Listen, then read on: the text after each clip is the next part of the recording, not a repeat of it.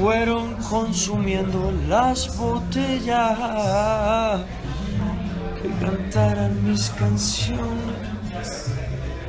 Pronto se me acerca un caballero, su pelo ya pintaba algunas canas.